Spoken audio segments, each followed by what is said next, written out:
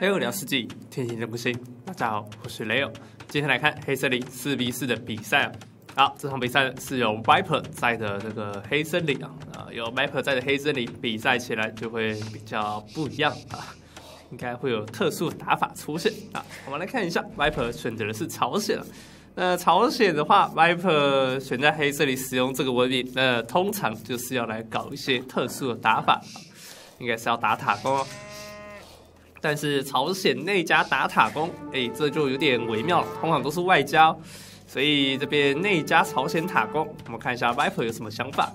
好，那这边呢，黑这里开局我们一样不介绍文明，直接进入状况啊。这边对手已经开始把维加给围起来了。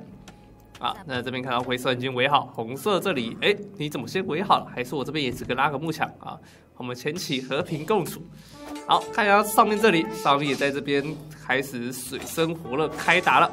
但这边要先保存一下落马的血量，赶快扣一下队友来，进来哦，出代价哦，大家拢点来玩 g 哦。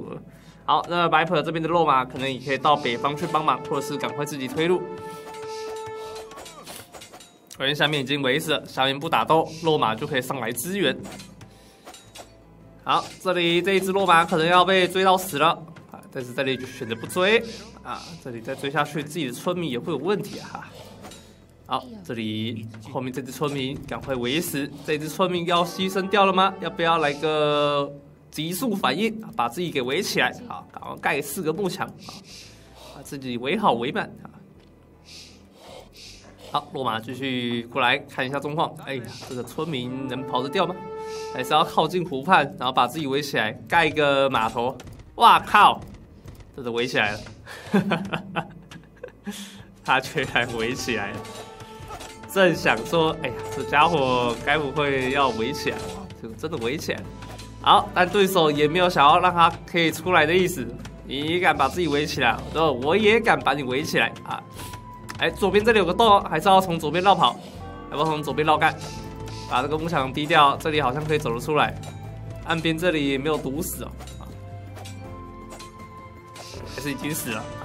不确定，感觉这里木墙低一低，紫色是能走出来的。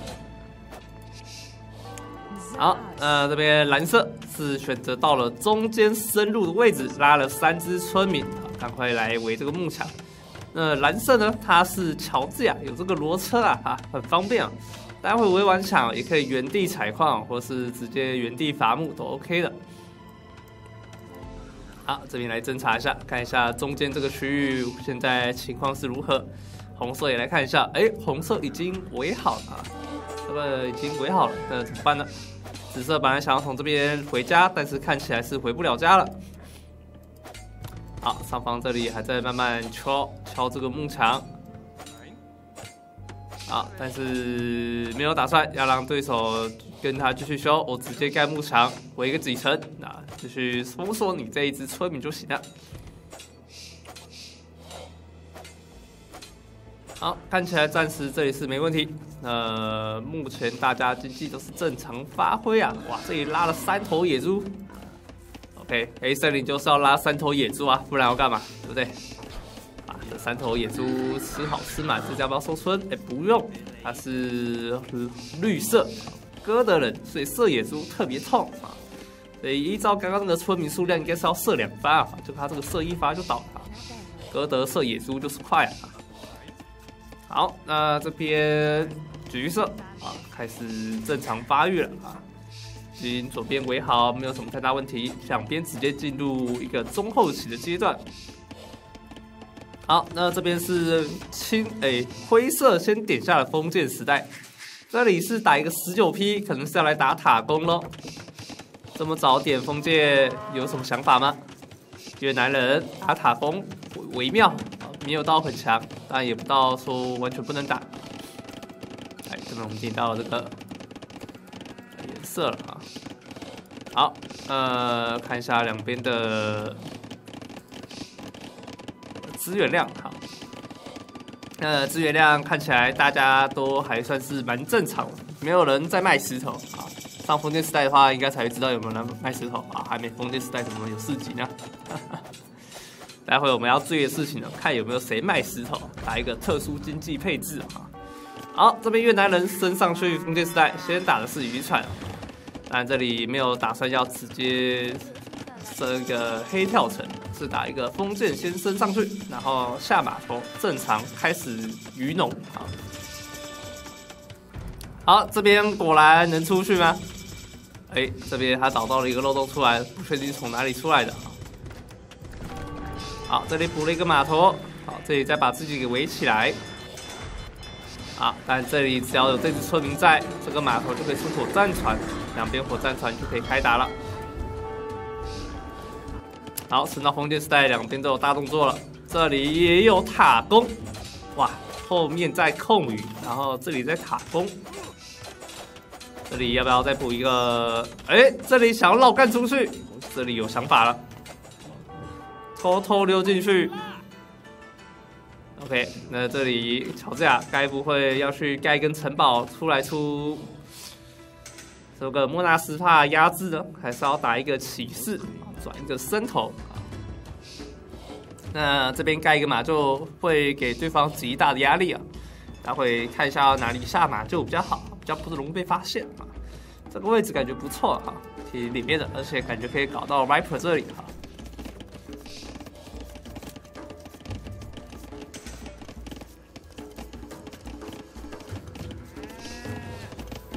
好，Dot 这不是 Dot 这个绿色哥德，有稍微把家里围一下的感觉，这边稍微围一下，应该是有感应到了什么？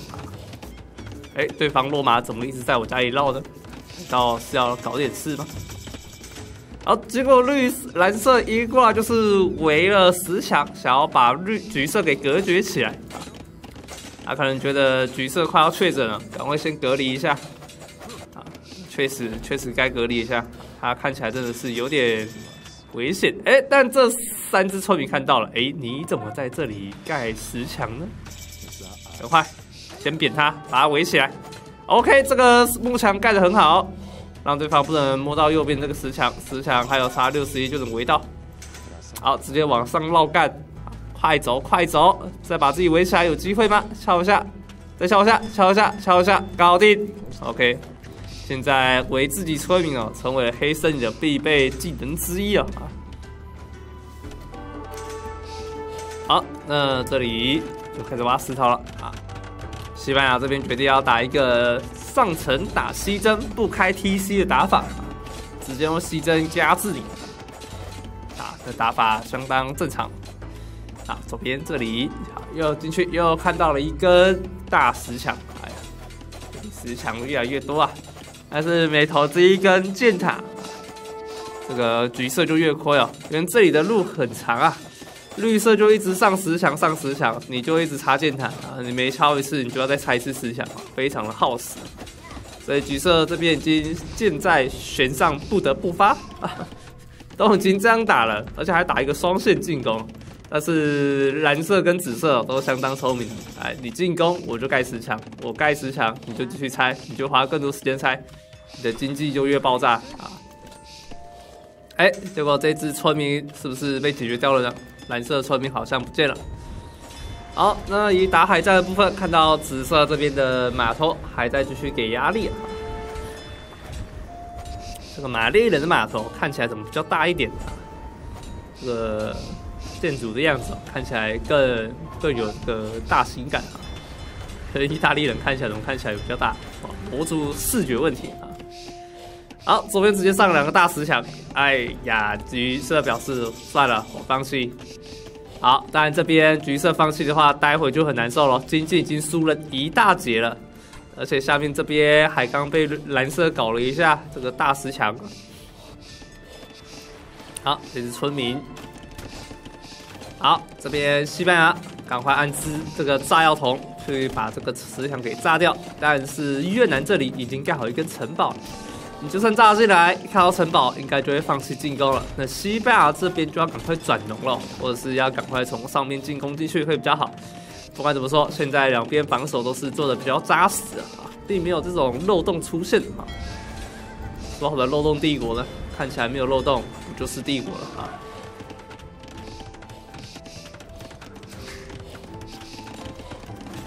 好，这里直接围起来。啊，上方也直接围死。好，灰色这边的挖金矿是挖的有点多啊。这个越南人这么多块黄金，难道是要来一个单 TC 速地吗？哎呦，资源量看起来是要速地喽。啊，OK，那哥德这边是选择了三四 TC 开农，我靠，一直农一直爽。好，那这边是朝鲜四个 TC，继续开农。白 r 这边居然是走一个纯农路线吗？朝打朝鲜走纯农，这 Viper 是不是？还要走自己最熟悉的路线啊，有点微妙哈。电影加朝鲜确实打早期快攻没有到那么吃香，而且会有后期被游侠吃一波的问题啊。好，这边西征居然打穿了，这里居然有漏洞可以溜进去啊！越南应该没有想到，哎，这里居然有一个极大的漏洞，怎么办？怎么办？这被骚扰到了。但这里不赶快把这里围起来，就会出事哦。这里要赶快再围一下。好，这里直接转藤甲弓，甲弓打西征还是会打到头破血流的。西征伤害还是比较厉害的哦。好，死掉了西征，村民直接硬盖，损失村民有吗？没有，还好西征打枪枪还是比较歪的啊。好，后面补了一根箭塔。呃，这样子应该就没问题了。这边就要看一下要不要再补个炸药桶，继续往前压制了。哎呦，这边还是被城堡射到了，有点疼，有点疼。好，这里要想要把这个防场给点掉。他看到有村民过来，还是想射一下。这根箭塔建好了，呃，暂时打不进去就完蛋喽。好，西班牙征服者只能选择撤退。好，这波进攻西班牙应该是宣告结束了哈。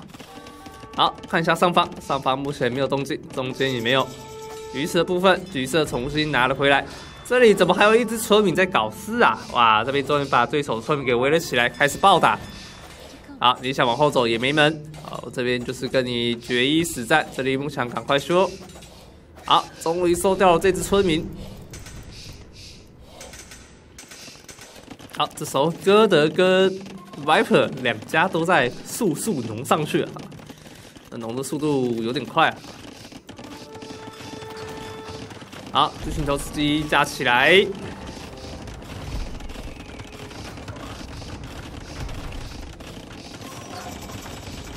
好，这边直接把城堡给围起来，难道有点想法啊？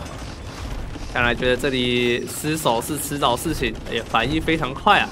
确实该把自己围起来啊！好，越南这边帝王时代一上去，果然有了奇效，单 TC 速帝王，然后转出巨型投石机拆对方城堡。那拆完城堡之后呢？之后这些巨型投石机最好的功用就是帮队友开门啊！啊，那那家波斯应该是要转萨瓦尔了哈。萨瓦尔这边突袭一波啊，威力是很大的，所以这边要赶快补马厩了。好，呃，越南这边帮他走一个开门路线，单 TC 速帝王。现在全世界就只有越南人是帝王时代，而且巨型投石机已经有三台了，拆这个石墙还是挺给力的啊。好，中间这个部分，橘色意大利人是继续补了城堡啊，给他压力。上面这里没有补城堡，待会这里可能还是要考虑补一下哈，不然就是要赶快上大石墙，人家城堡开始盖了。那橘色这边经济是非常惨淡的啊。但是还是点下了帝王时代单 TC 点帝王啊，跟越南比起来，这个经济量还是差了蛮多的。人家都已经单 TC 盖城堡三个巨型投石机了，他才刚升帝王时代，跟这个三四 TC 弄起来的经济状况是差很多的，但升帝王时间是差不多的啊。好，哥德开始有大动作了。那目前橘色的想法就是，哎，我帮队友开门，城堡能不能多打穿几个？但是后面乔治亚啊，疯狂盖石墙！好，白粉这边是先转出了重装长枪兵，待会骑兵要先上。呃，这边的想法应该是要先防下萨瓦尔，毕竟那家是波斯，先预判一下对手，先出骑兵，确实是一个正确的选项啊。好，呃，左边越南这里是要转 TC 开农吗？还是就去单 TC 出巨型投石机帮拆就好？那越南在城堡时代的一个打法会比较偏向于出藤甲工兵啊，在团战情况。那帝王时代的话，这边可以转些火炮，可能只转重型工程武器就行啊。火炮啊，还有这个巨型投石机，帮忙输出一下。好，但西班牙这边盖石墙盖的真是很勤啊。好，上方玛丽有了大动作。好，这里飞刀女猎手先按个几只，有要升精锐吗？还是先且用且珍惜呢？这里飞刀女猎手拆建筑物很快的，因为它可以吃到这个纵火技术。这这个飞刀是会着火的飞刀啊，哈，非常厉害啊。好，那这里是补了非常多的枪兵，格德是决定先走枪兵路线，大家都是先走一个防守路线，试试水温。但左边这里石墙实在是太厚了，哥德就算弄上去，暂时也没没有办法第一时间进攻，没有办法打出一个时间差。好，那越南这里是没有打算要补工程器，反而是内加的托斯自己转出了火炮。好，萨瓦尔这边是来到了二十秒就要升级完毕。好，艾弗在下面补了一根城堡，要转马战车吗？朝鲜不打箭塔，好像就不是朝鲜了。这里自低一下城门，啊，这里打一发小预判，哎呦，打到了艾弗这个预判打得非常好啊。好，左边第一切石墙，让西登进去，想要变掉火炮，但是萨瓦尔也在后方蓄势待发了。哎呀，对方自低石墙，难道有什么想法吗？好，上方看一下，看这个情况，呃。橘色这边是转出了深绿，意大利深绿也 OK 的哈，僧侣也是能打。好，中间哥德这边大量骑兵在这个位置想防守，但发现哇靠，这里是一个万里长城，打不进去。哥德现在有点憋屈啊，没有办法正常进攻，还是要转一个中型投石车呢，直接开路从中路切鬼切进去啊。中间这里是没有什么太大反背的。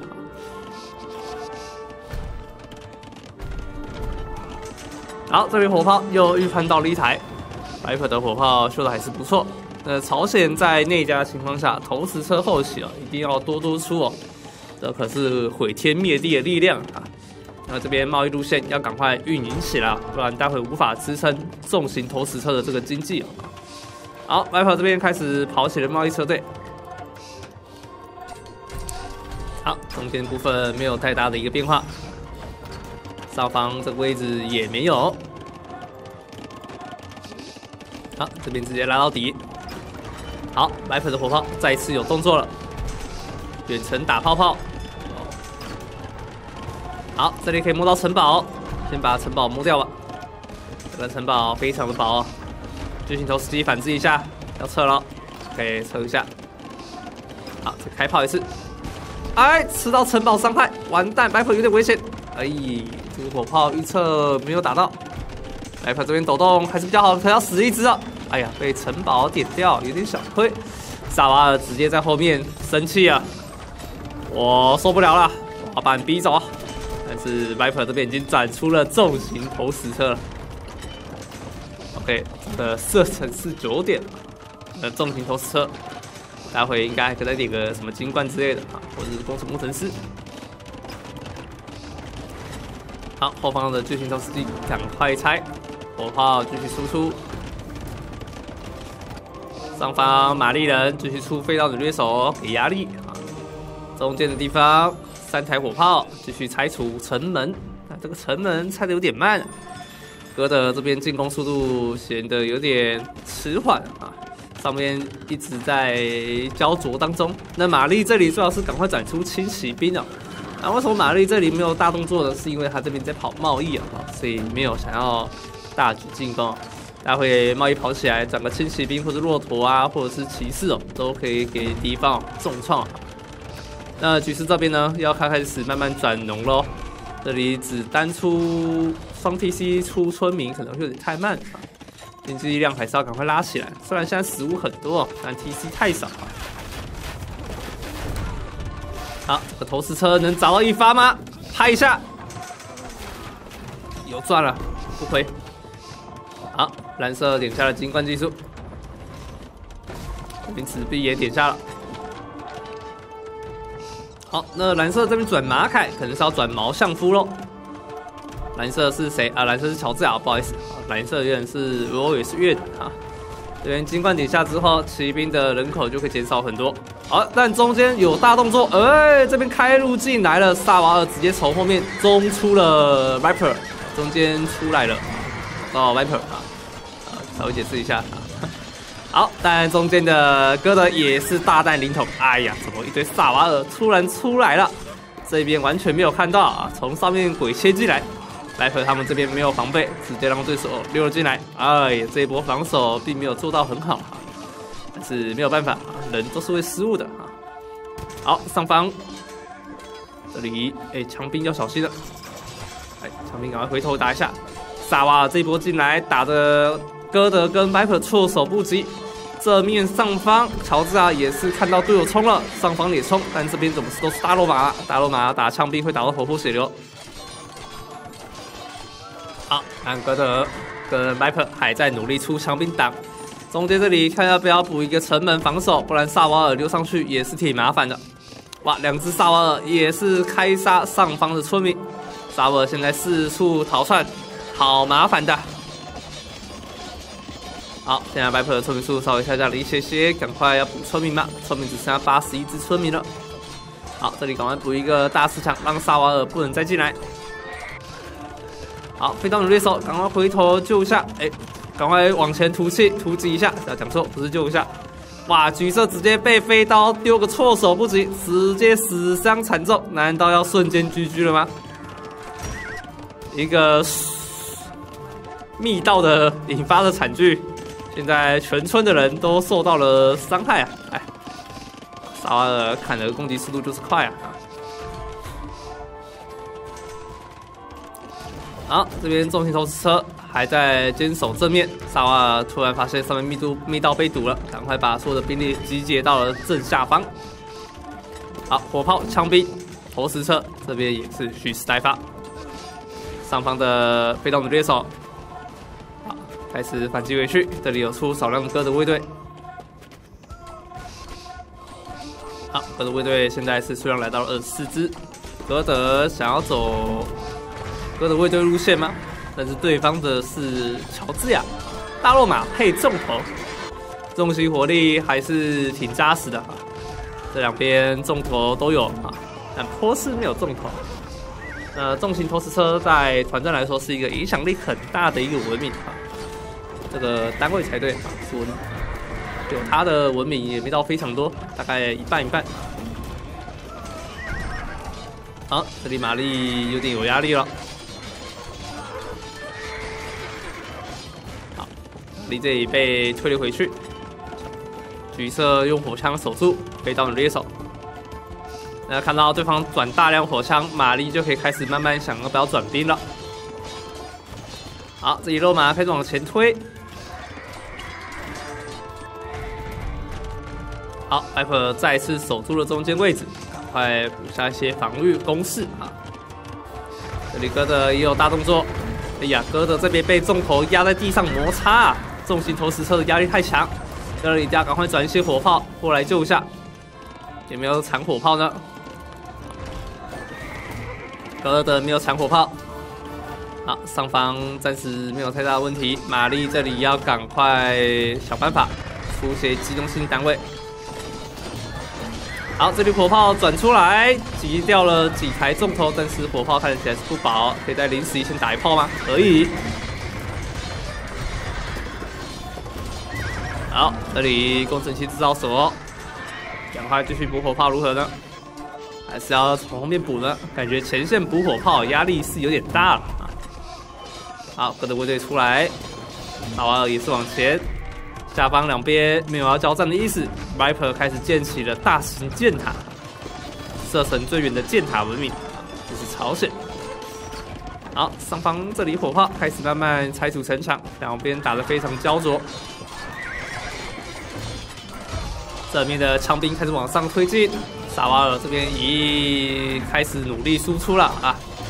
哇，这数量有点庞大，完蛋了！哥德只有木门呐，出事啦！这个木门扛不住十秒钟，比那个男人还要快软掉。这个真的不行，硬不起来了，扛不住了。要硬刚吗？要再硬起来吗？哇，重头又拍到了一下，大量枪兵直接倒地。哇，这个拍下去，重头火力还是相当猛的。好外婆拉了几台投石车过来，我也来帮忙砸一下。但好像有点砸歪了，没有砸到大量的骑兵身上，但可能是不想要砸到落马身上啊，所以才这样砸的啊。啊，是不想要砸到这个枪兵身上啊。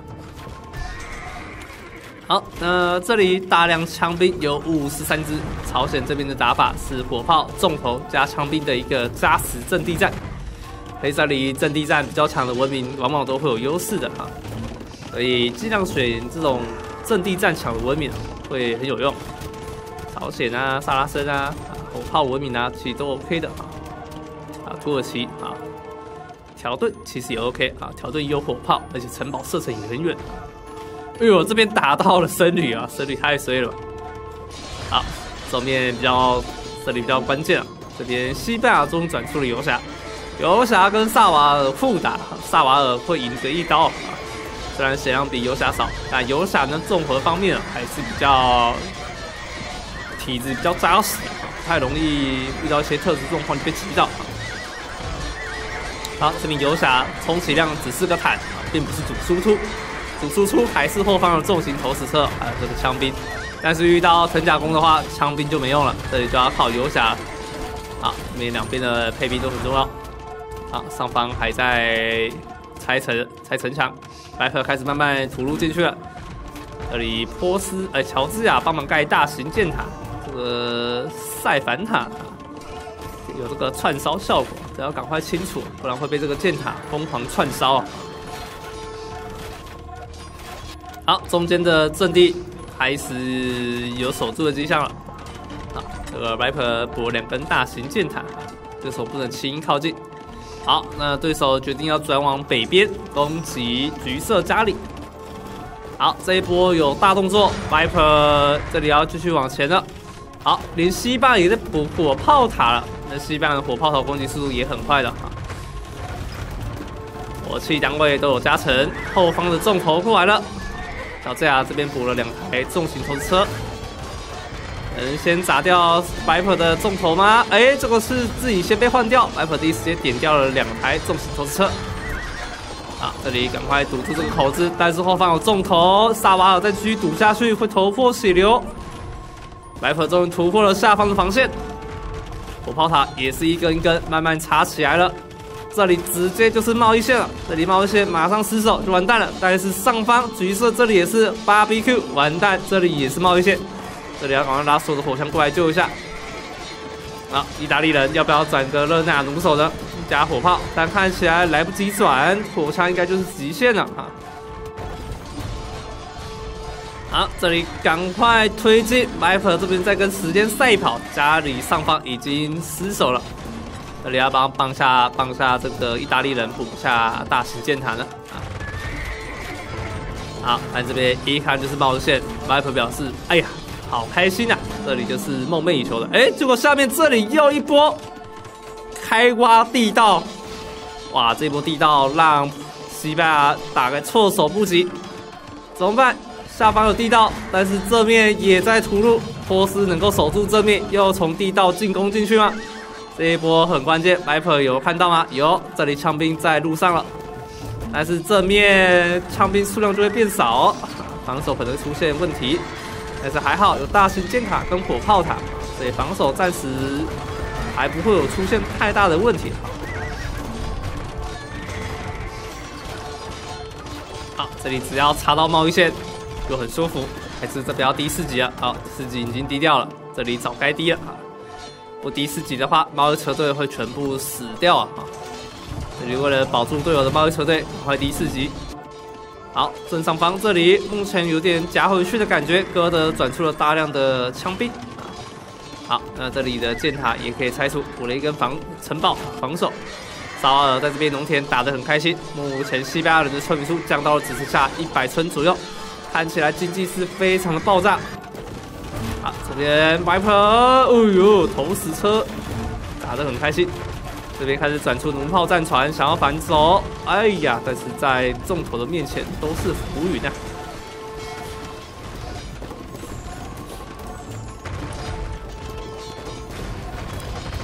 好，这边迅速砸光光。这边大量长兵继续往前推进。好，这里冲车补了几台，哥德卫队，哥德配冲车，可惜哥德没有大冲车啊。但拿来新一点剑士伤害还是不错的。好，下方的萨瓦继续往前，但是发现，哎呀，这个门被堵起来了，只能原地返回嘛。好，赶快看一下 Viper 这边的一个状况，Viper 这边是继续往前推进。感觉胜利在往 Viper 这边继续往前的感觉。现在越南很难去跟对方抗衡，这里一定要出火炮才有机会打赢。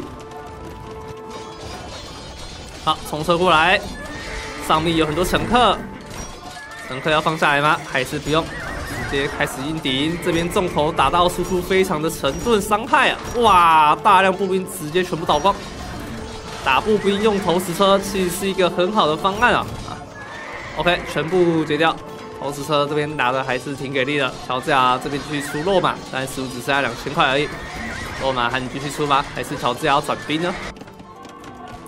好，那这边两边开始又变成阵地战了。在阵地上来说，朝鲜应该是略胜一筹。这个射程高达十点的投石车啊，有射程优势的阵地战的文明啊，往往都是关键。像朝鲜就是，还有土耳其啊。这类射程最远的，啊这个打打的 铁木尔工程数巨头啊，其实这些都还蛮强。好，那目前看到对手越南人是展出了火炮战船，哎拆除附近的箭塔还是蛮方便的。但缺点就是火炮战船很脆，而且不太容易移动，但也可以瞬间反击。投石车啊，这个投石车完蛋，被打掉。好，西班牙继续出游侠扛帮忙扛住这面，然后用巨头火炮塔继续控制了更多的阵地。这边开始哥德卫队也开始反杀回去。哎，黑森林的哥德人还是有点做事的，并不是完全打不赢，只是有点痛苦。好，上方意大利人发现，哎，我好像怎么守住了？那我也来进攻好了哈。本来意大利一直都被按在家里打，结果这一波。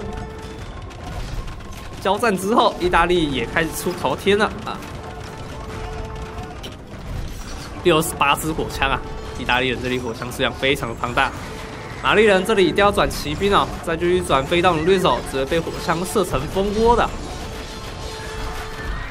好，左边越南人的领地已经快要被收干了，这里要赶快后撤到后面发展经济了。好，这里一波进来，小心火枪会被投石车砸光哦。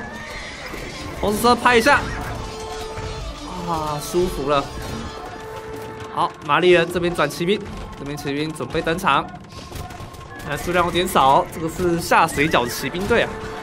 好，火枪的三段射击，织田信长的 惯用枪法啊。三段射击拿出来，轻轻收收收掉了骑兵队。好，这边游侠看一下，去前面侦查一下。对方萨瓦尔数量好像不是很多，感觉是因为马厩一直被拆，产能出现了问题。经济方面呢，刚刚也因为第一四级的关系啊，贸易车队没有办法继续正常跑，要一段时间才能继续回笼，所以萨瓦尔这边数量明显数量不是很够。好，这边的位置。代理枪兵继续出，一戳一戳一戳，重头砸一发，来回上面直接打一个多线，再砸一下，这里落马损失惨重。哥德卫队这边继续按，还有枪兵也是一直补。哥德最厉害的地方就是哥德源源不绝的，就像小枪一样疯狂诞生出来啊！好，上方的萨瓦尔配上玛丽的飞刀，还有一个骑兵。稍微有点打回去，但是这里火枪队实在是太多了啊！好，正面这里有个大对追，看一下，白可跟西班牙已经正面推入了，这里非常多的巨型投石机开始拆除城堡，游侠直接贴了上去。好，这里直接搞定对手，哎呀，这边萨瓦全部倒光。乔治亚这边要来救一下吧，波斯也已经要倒光了。Viper 这边阵地战打得非常好，西班牙这边游侠也是坦的 OK。好，上方这里也快要撑不住了，Viper 的重头开始帮助哥德推进战线。哇，Viper 到底怎么如何打到这个双线进攻的？呃，也是蛮厉害的，控一下上面又控一下上面。好，上方的意大利也是杀了进去，这里要赶快控一下火炮，火炮这里不能被打到。补跳，再预判一下，有预判成功，走一个上下走。好，再打一下，再打一下。哦，有机会吗？哎，差一点点。好，看起来玛丽这里是已经稳了。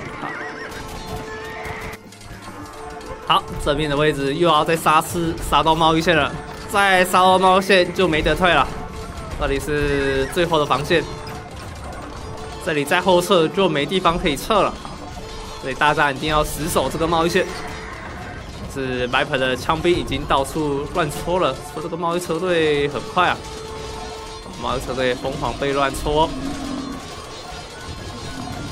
好，戳掉了几台贸易车队了。哇，全部的贸易车队都在这里，枪兵戳的好开心啊！好，游侠要赶快来救一下。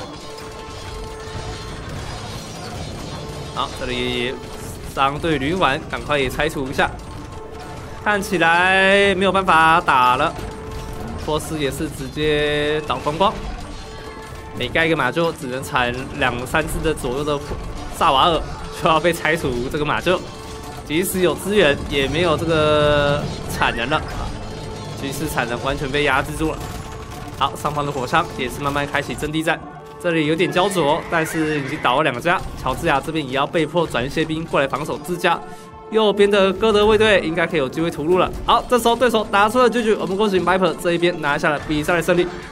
哇，这一场真是有点精彩哈！这里波斯不断的挖地道啊，挖这个密道出去啊，挖了很多个密道，但是最终还是被红色他们的一个反应啊给防守住了哈。那哥德这边呢，虽然没有实质上的一个实际努力推进的效果，但以防守来说，出大量枪兵哦，他还是在行的。